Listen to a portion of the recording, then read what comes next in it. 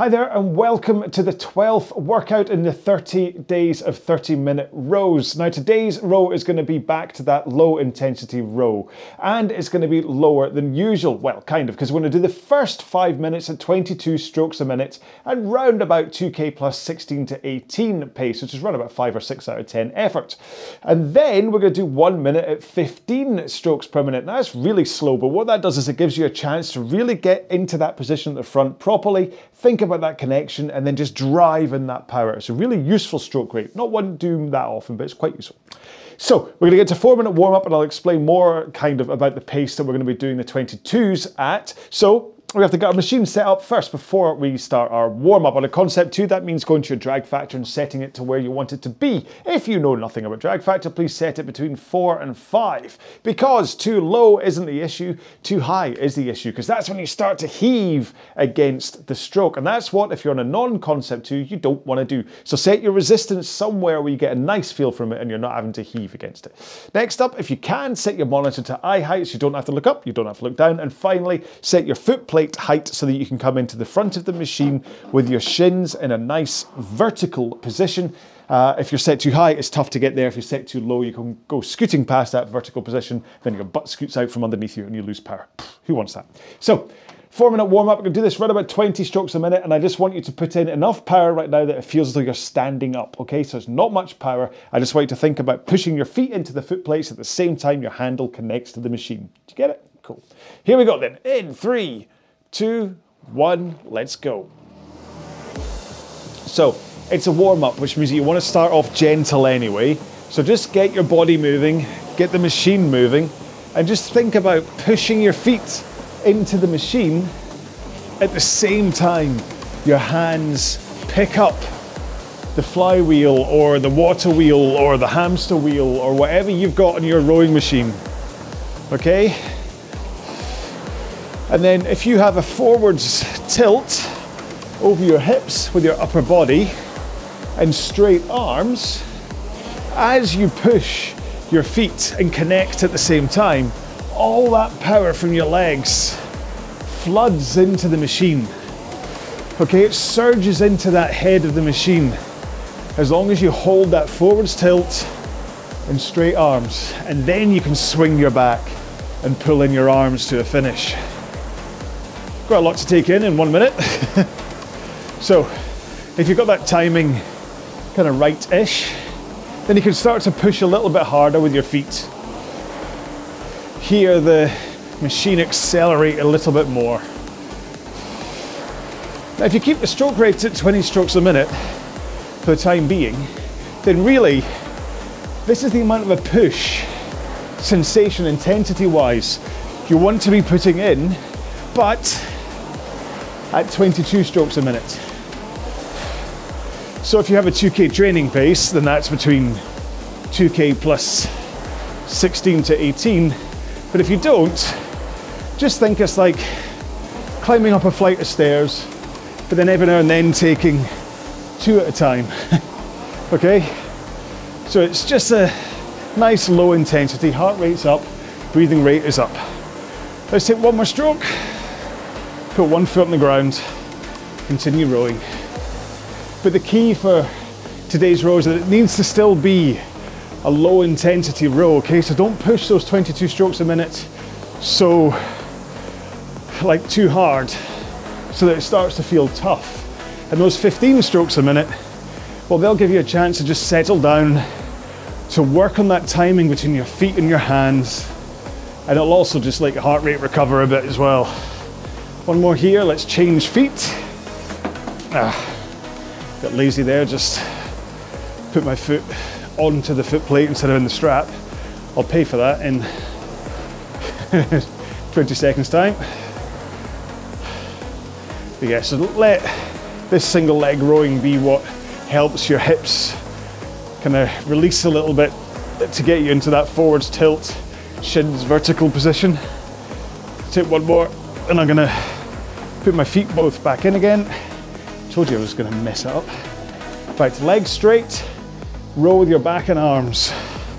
So swing over your hips to pick up the initial tension of the handle, then pull in your arms. and then release your arms to then rock over again. Okay, so you rock, pull, push, rock, rock, pull, push, rock, rock, pull, push, rock. Okay, side to the front, straight arms, forwards tilt, and just press out lightly from the front. Okay, you don't have to go too hard because you're just working on the timing here of that foot press and your hand connection. A lot of time spent on getting this timing right because it's so important to really get that power snapped in at the front. You don't want to lose it by pushing your feet away too soon and losing all of that leg power. Right, talking about losing it, segue. Um, be warned, in the row you're about to see that I recorded in 2021, I completely mess up the 15 strokes a minute things. I think I totally missed the first one and possibly the last one as well. But just remember, it's five minutes of 22 strokes a minute, one minute of 15 strokes a minute, and just don't follow what the dafty on screen does, okay? And I will see you in 30 minutes for the cooldown. So what we're doing then, just to quickly recap, is 22 strokes a minute at 2K plus 16 to 18 for five minutes. And then we're going to do one minute at 15 strokes a minute. And don't worry about the pace. We're just going to use this to slow down and work on our technique. And then we go back into that 22, back into one, blah, blah, blah. So five sets of this is what we're going to do. And that will be our 30 minutes. And then I will, we'll get a chance to stop in half an hour. I was about to say I will see you in half an hour, but of course, I'm, he- I'm going nowhere. so Okay, so we start at 22 strokes a minute, 2K plus 16 to 18. Okay, in three, two, one, let's go. At 22, I always say it's quite an awkward stroke rate. Just at first, just to really kind of hit into the flow. Maybe it's just because I'm so used to rowing at 20. I always start a little bit on the slower side. But there we go. Hopefully that's me in at 22. And I'm running about 2k plus 16, 2k plus 17. Which is where I want to sit for first five minutes of this row. Don't worry too much if you drop down pace by a second on today's row. These bottom tier ones are really about just trying to keep the intensity down, but your body is still working through the session. And because you're not overtaxing your body, it really gives it a chance to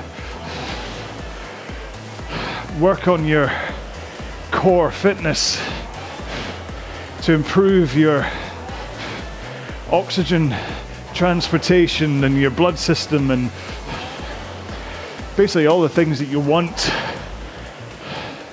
as your foundation when it comes to eventually wanting to go fast, be it for a 2k time trial or a 10k time trial.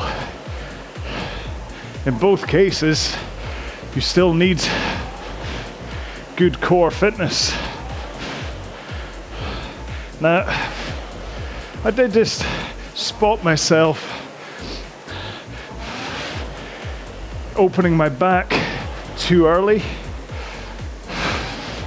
struggling a little bit to hit consistency of pace I suddenly realized for some weird reason I was swinging my back way too soon.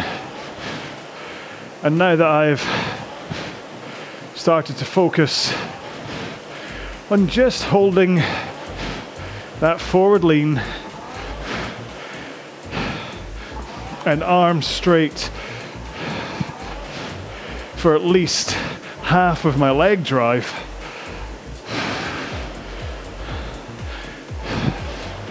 My pace seems to have settled down nicely.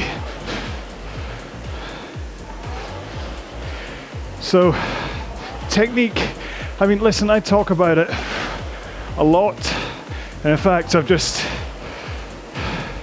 recorded the first of the form check Fridays videos where I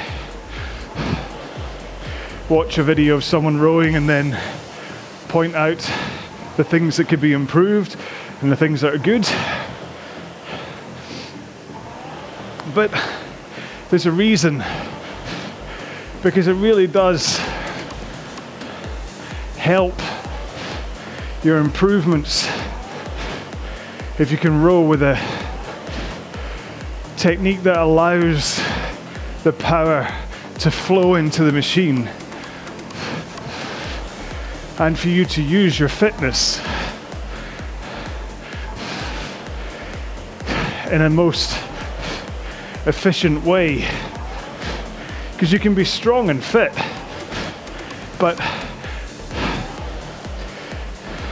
you can still be slow because you're not able to get that power into the machine or keep that power going into the machine. Okay, so 30 seconds time we get our first 15 strokes a minute. This is really about flow, okay? About that recovery, slowing it down, making sure you're in the right positions, which I'll talk you through, don't worry. Okay, in two, one. All right, here we go then. So, drive, finish, arms away, rock. Drive, finish, arms away, rock, recover.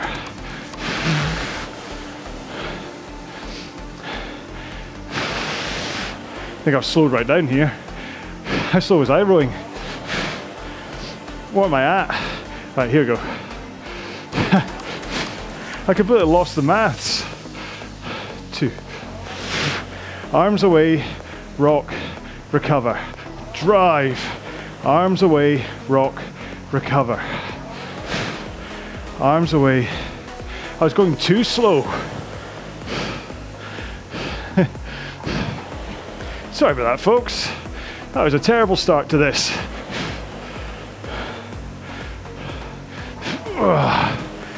Thousand lashings for me. Okay, back into 22 strokes a minute. Right, that didn't quite go how I wanted it to go. Slowed down too much. My inability to count down in fours. Let's hope we can do better next time round. again, a more professional person would stop the video, start again, but not me. Because, well, it's not about showing you that I can mess up as well, but these 15 strokes a minute can be uncomfortable can be awkward, even if you're confident going into them. You can still just get the rhythm wrong, is what has happened to me. Mostly, I'll say because I was trying to talk too much through them, trying to fit too many words in and slowed down as a result.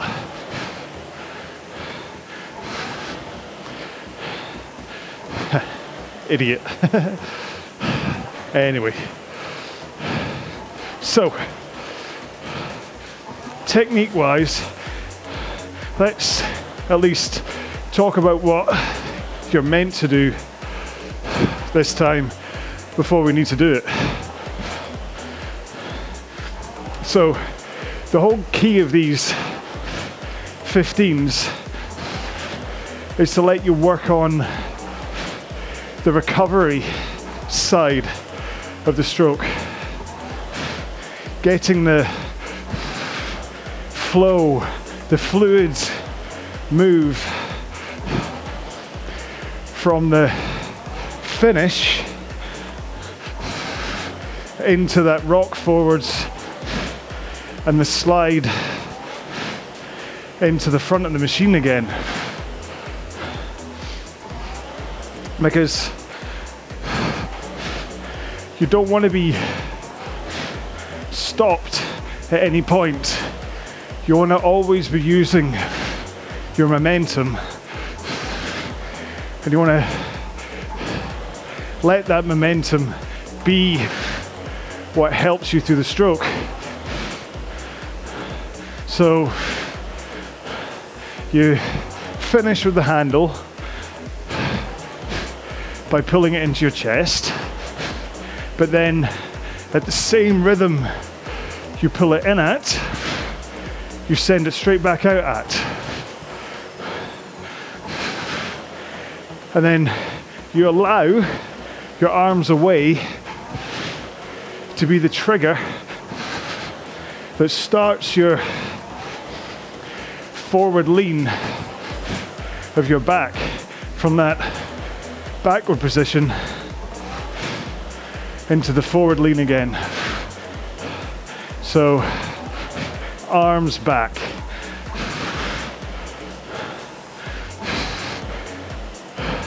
And then once your hands are past your knees, your back should be in that forward lean.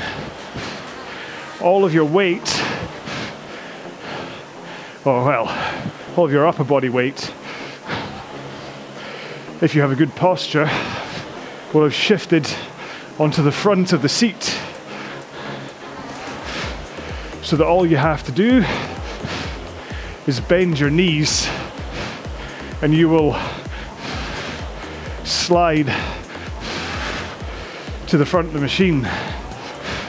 If you don't have that momentum already moving you forwards or the good posture, it's not quite as simple as that, which is why we practice. Right, we're good. Let's try and get it right this time. 10 seconds to go. We'll slow it right down again. Two more. One more. Here we go then. So, drive. Bend your knees.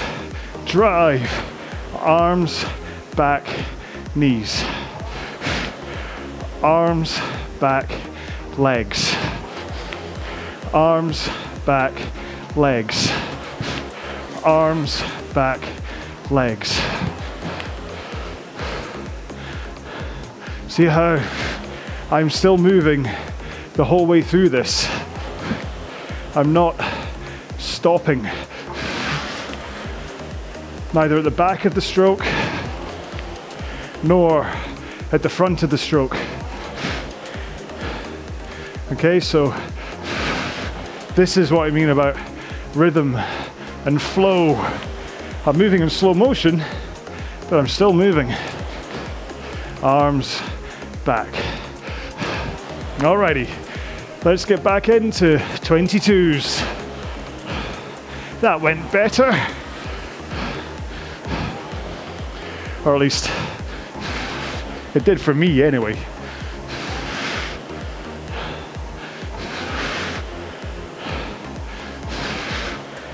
So, really, I could be rowing at. I think the lowest I've gone is 10 strokes a minute. Any lower than that just gets stupid. But you should be able to slow it right down and still have a fluidity of move- movement. Like Tai Chi, you're always moving. I mean, I maybe have a tiny pause as I get to the front of the machine. When I go from the forward slide to turning it around into the drive. And that's something that I need to work on is the pause.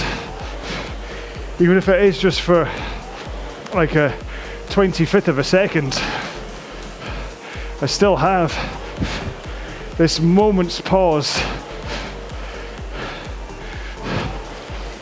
So ideally you want to slide forwards and then instantly turn it around. But the danger with that is that because you're thinking about moving yourself backwards, it's quite easy to launch your back to do that, to go oh fast. And that's not what you're meant to do as you drive out the front. So, really, what you want to think about is what's happening with your feet and that timing between your feet and your hands. So, if you roll forwards and the moment you feel your shins in that vertical position, you push your feet into the machine. So it's not about sending yourself backwards, it's about pushing the machine away from you. That can help. Just get that feel for the right connection at the front of the machine.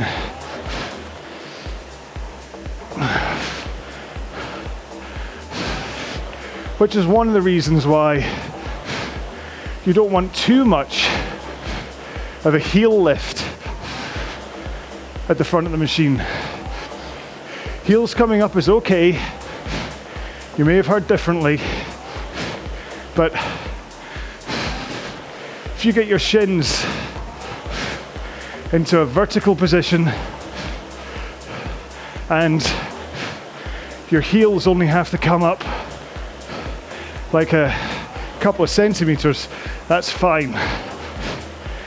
It's if you come to the front of the machine and your heels are like perpendicular to the floor, or sorry, parallel to the floor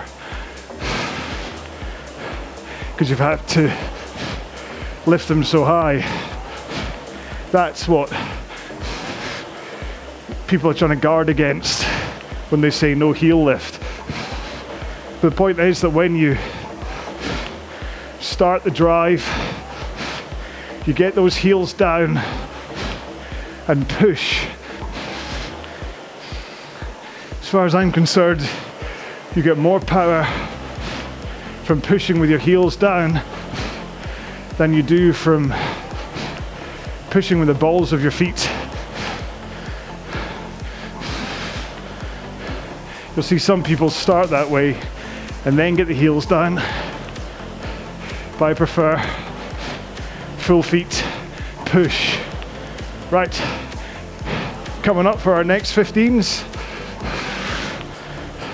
One more stroke. You ready? Let's slow it down. Drive, arms, rock, recover. Drive, arms, rock, recover. And please notice that I'm not going arms, rock, recover.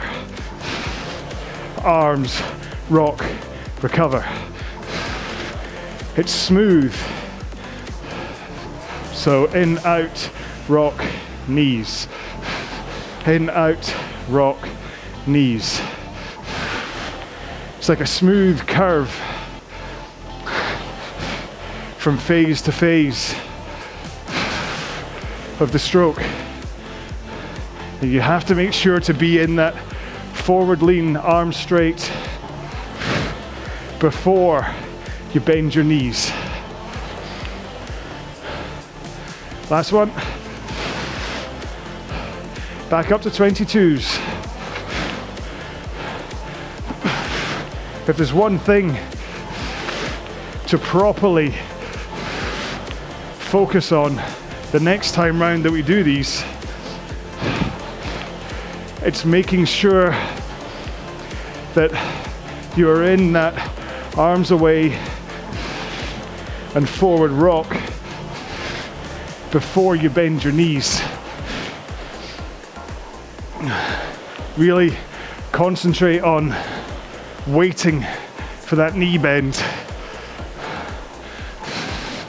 because what you're trying to do is set yourself up so that your upper body is in the perfect position before you start your slide forwards. Which means that you will be in the right place to start your next stroke. You don't have to do anything wibbly wobbly.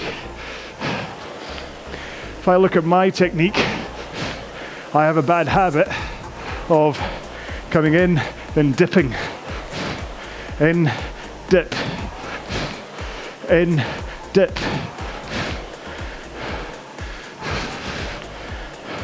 Which has problems with power leaks, where I have a bit of a butt scoots as a result, and don't quite let the power go through my back. However, one of the videos that I just did the review of for Form Check Friday was me six years ago at the CRASH-Bs in Boston. My first ever World Championships, and I think only my uh, third ever competition. And back then, I hadn't really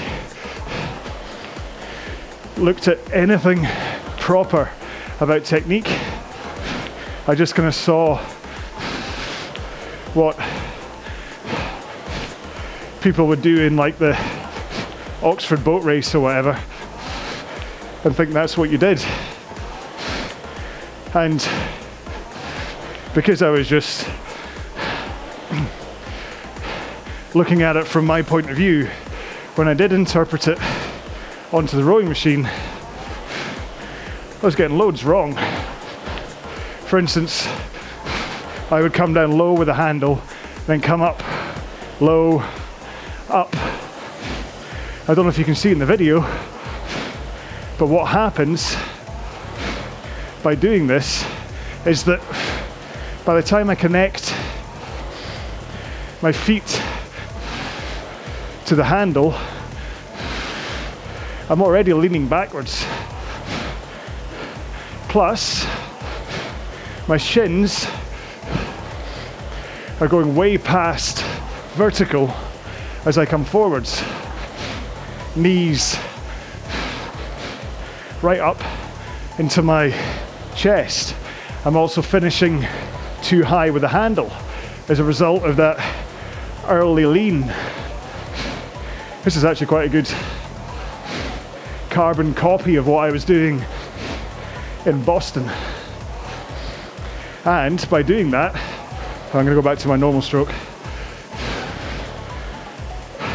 I just slowed down from my 2k plus 16 pace down to 2k plus 21 with the same kind of perceived push of my legs.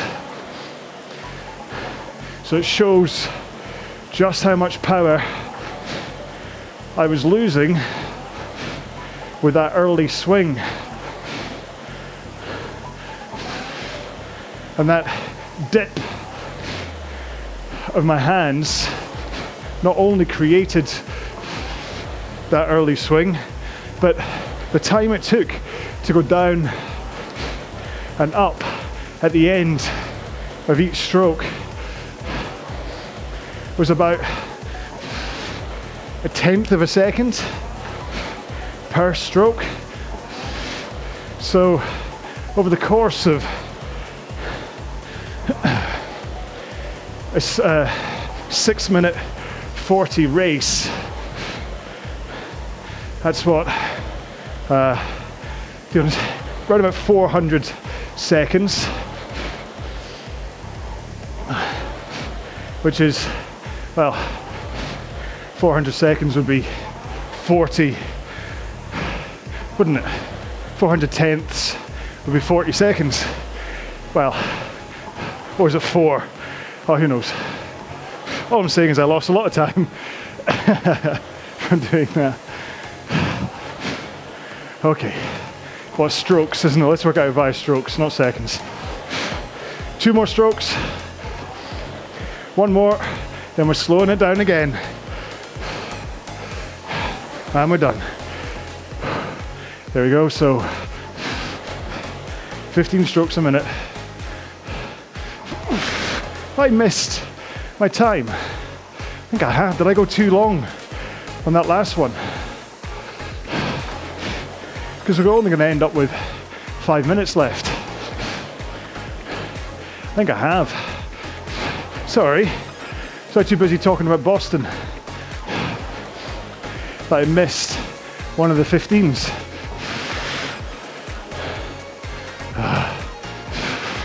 So arms away, rock, knees. Oh well, this definitely goes down as one of my worst ever presented videos with all the errors, but hey, it's fine. Right, let's just do a solid five minutes of 22s to finish then, no more 15s. Well, for me anyway.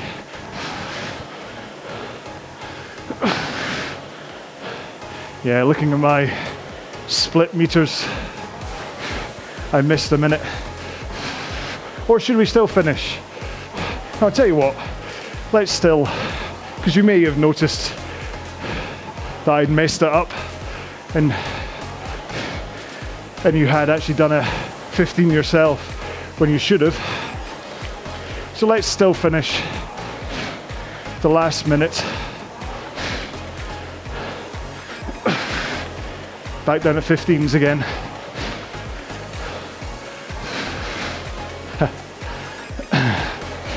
Day 12. I made it quite far without really messing up. There was a error, yeah, where I forgot I forgot a sprint in one of them, didn't I? At the end of one of the rows, I forgot to sprint. And then this one, I was a minute late for the 15s. But you know what, it doesn't matter. The fact is, these 15s just slow you down anyway let you work on your technique and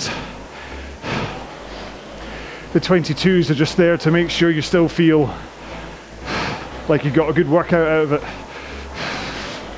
I've told the story before about my squash training days where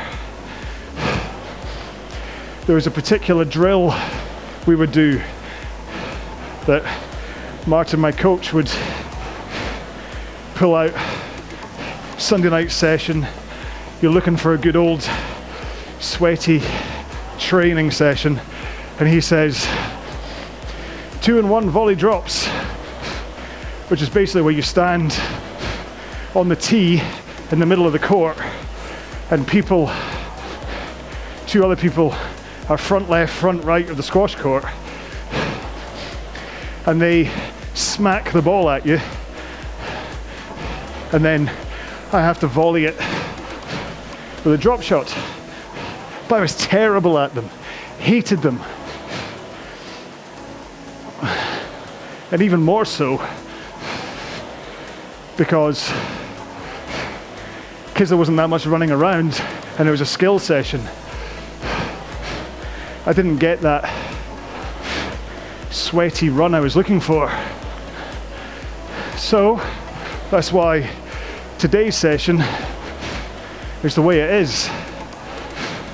The 22s still give you the workout you need to be happy, but these 15s are the technical skill side, which, to be honest, the same with me in the volley drops. The reason I didn't like them is because I wasn't comfortable doing them. If you can get comfortable with these 15s, you'll learn to like them a lot more than you do when you're uncomfortable. Trust me, once the flow comes in, you're like, oh, there we go. This is easy. One more stroke, and let's slow it down to our last set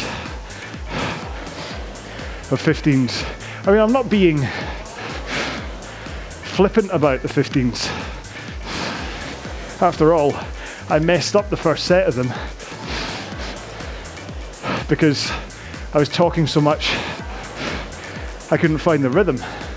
But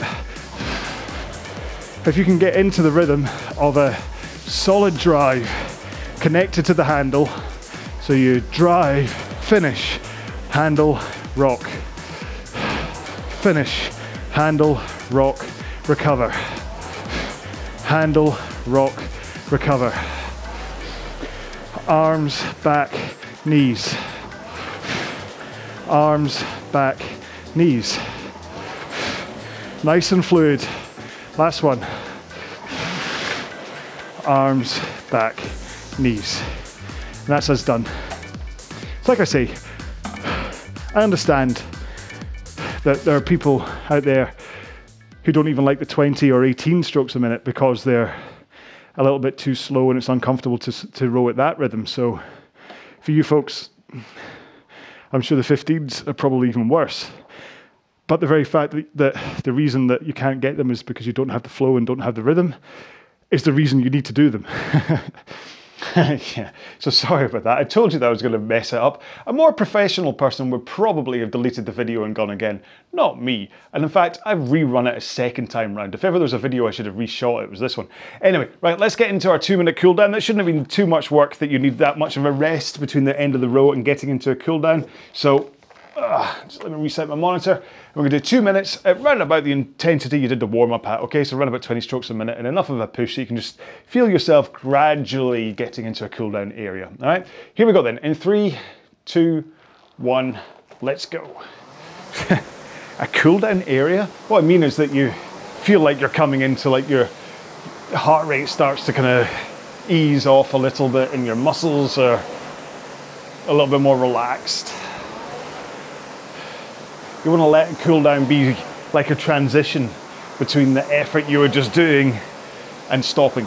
Okay, you don't want to just go, even for something as simple as today's row, you don't want to be working and then stop and then just that's it, you're done with your day, go home or go back to work or whatever. Try and factor in a little bit of a cool down to just disengage your body and your mind from what you've just been doing but it also helps your blood circulate, flush out your muscles, all that kind of stuff. And then it just, I said like mentally, it's a good idea to do a cool down if only so you can kind of reset your memory of what a rowing technique is like. Because say like in a 2K or like a 1K or a 500 meter, by the end of it, I'm not rowing, I'm flapping up and down on a machine. So I don't want my body's memory of rowing to be flapping up and down the machine like a dying salmon. I want it to be controlled and smooth and yeah.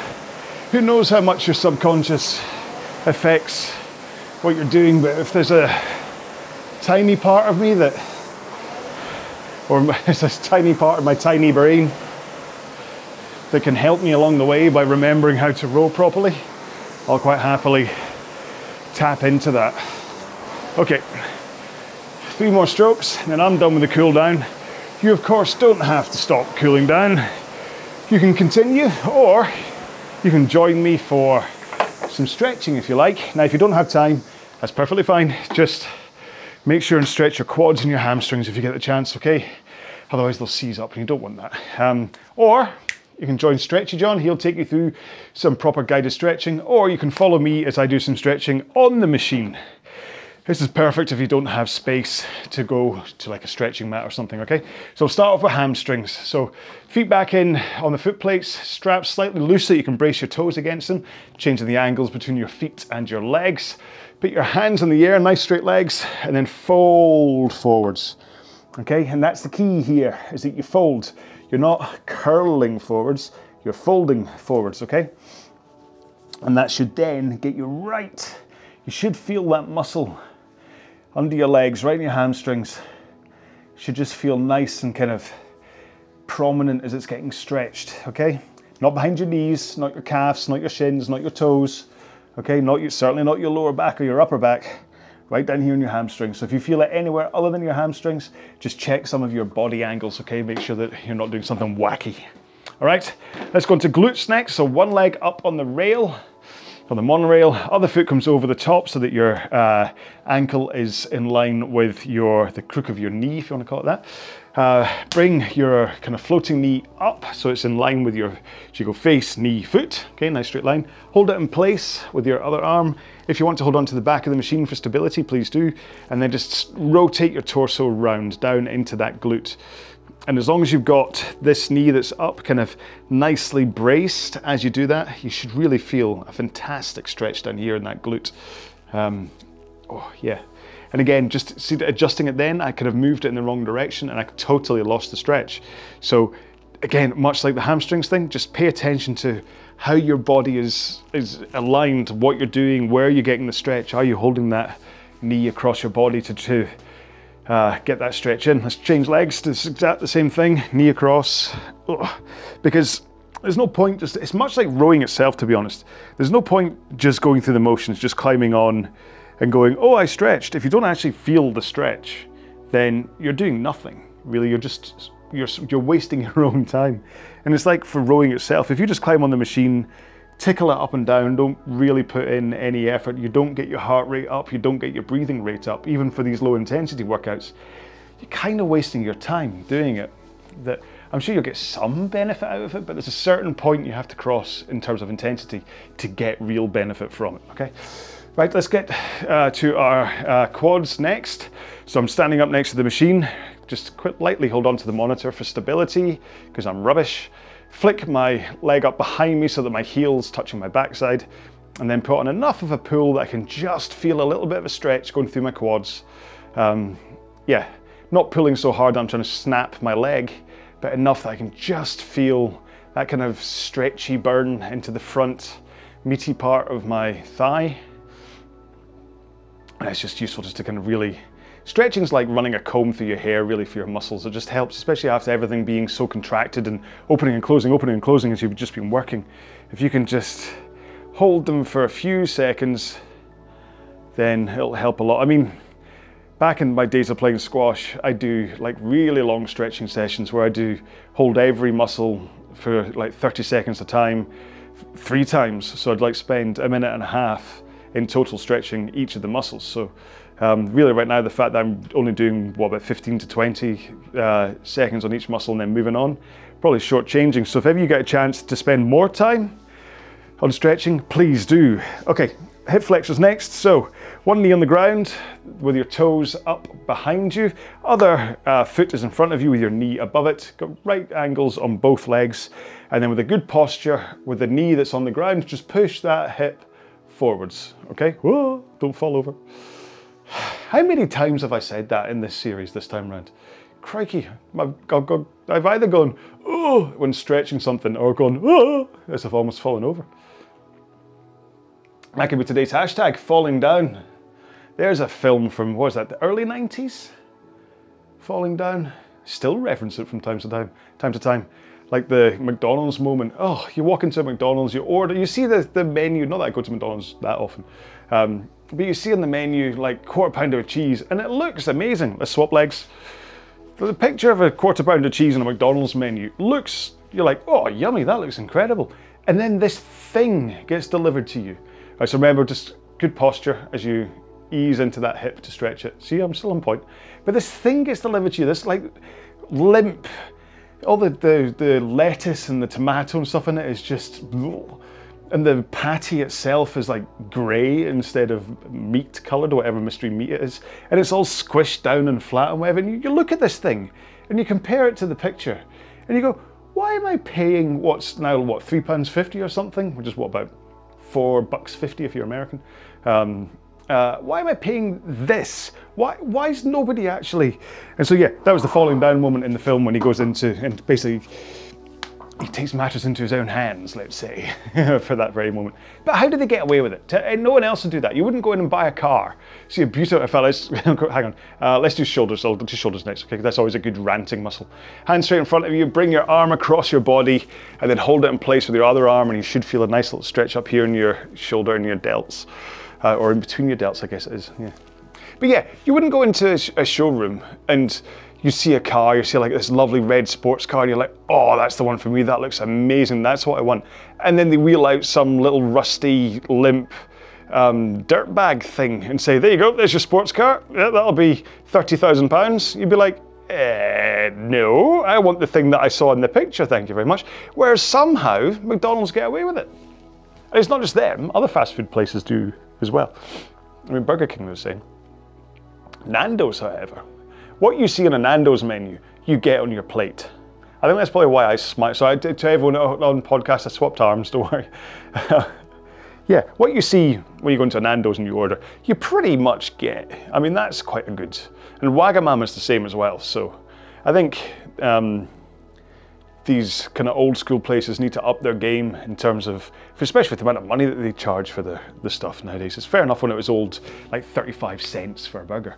Hands together, I'll do forearms. Hands together in front of your face, push them together and then bring them down in front of your body so that they're in front of your chest pretty much. Carry on pushing your hands together and you should get a nice little stretch in your forearms and in your fingers too.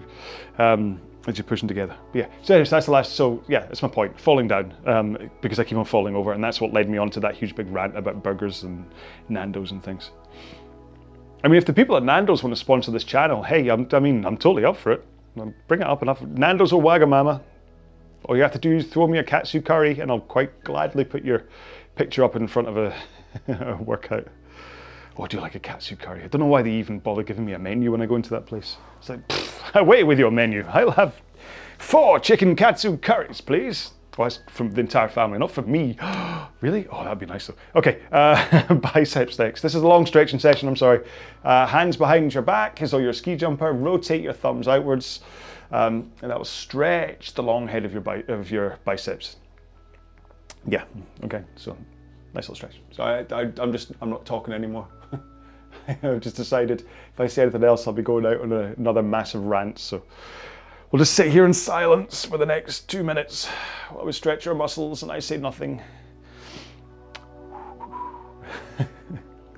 what did I have for dinner tonight? What did I have? Oh, I had eggs. I made myself eggs Benedict tonight. Um, yeah, very, very posh. Eggs Benedict, yeah.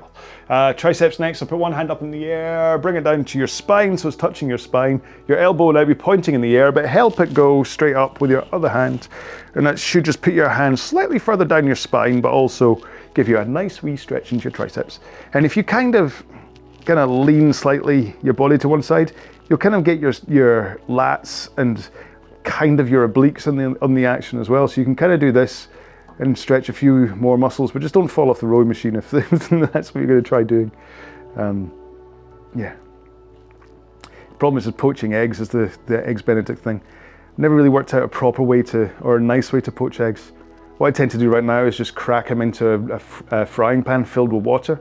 So you end up as like a fried egg, but it's not fried. It's just been like boiled almost in water. I mean, it's perfectly fine. Swap, swap arms, perfectly fine, but it's not that. You know how you, if you go into like a posh restaurant or whatever, and you, I'm gonna do that same thing where I lean over to the side slightly to stretch my lats and my obliques. If you go into a posh restaurant and, and order poached eggs, and it's this little parcel of an egg, it's all like wrapped up around itself.